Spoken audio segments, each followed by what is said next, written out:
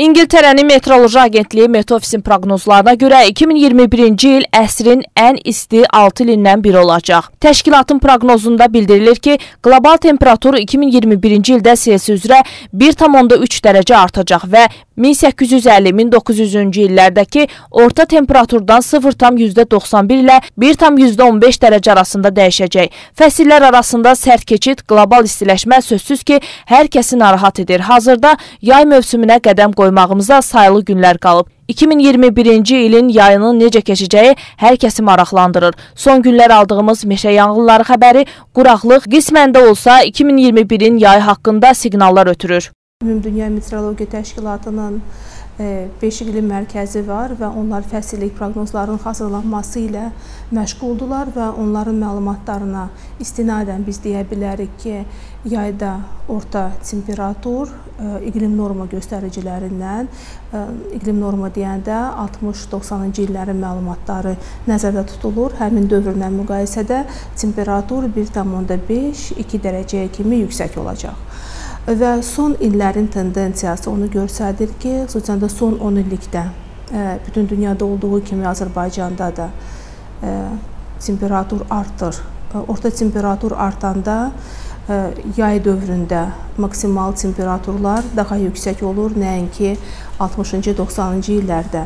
Ümumiyyətlə tapşırıq onun üçün yayın isti keçməsi səciyyəvi olsa da, ola bilsin ki, yaşlı insanlar bunu təsdiqləyərlər, bəli, 40 dərəcədə müşahidə olunub 90-cı ildə, lakin o dövrdən fərqli olaraq son 10 illiklərdə isti dövrün davamiyyəti artıb.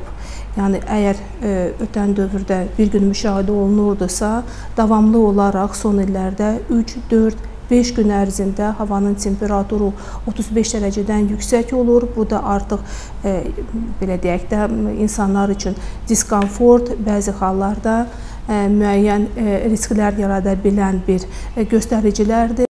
Qlobal istiləşmənin fonunda quraqlıq, içməli su ehtiyatlarının azalması da dünyanı haqlı olaraq həyəcanlandırır. Bu baxımdan ermənilərin Göyçə gölündən sonra Qaragölü də özünküləşdirmək istəməsi təsadüfi deyil. Uzun illər Azərbaycanın 20% torpaqlarının işğal altında qalması ölkəmizin su ehtiyatlarına da mənfi təsirini göstərirdi. Lakin bugün artıq azad edilmiş ərazilərin su ehtiyatları da tamamən Azərbaycanın nəzarəti altındadır. Sözsüz ki, bu da çox mühüm amildir.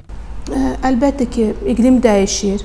Bunu biz artıq bir reallıq kimi qəbul etməliyik və belə bir şəraitdə biz həyatımızı davam etməliyik. Və artıq ə, aprel ayının 28-dən may ayının X-inədək Qarabağ bölgəsinə ə, azad olunan ərazilərə ekspedisiya təşkil olundu və ekspedisiya zamanı bizim mütəxəssislər ə, Qarabağ çaylarının vəziyyətini öyrənmək üçün monitorinq işləri orada aparıldı və ölçü işləri ən müasir portativ cihaz Somir Avstriyanın Somir şirkətinin cihazı istifadə olundu və çayların suluğu müəyyən edildi. Əlbəttə ki, azad olunan ərazilərdə ümumiyyətlə Qarabağ bölgəsinin su ehtiyatları kifayət qədər zəngindir.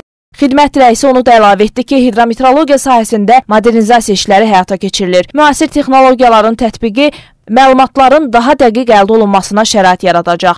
Qlobal iqlim dəyişikliyinin gətirdiyi problemlərin həllində də sözsüz ki, bu çox vacib amildir.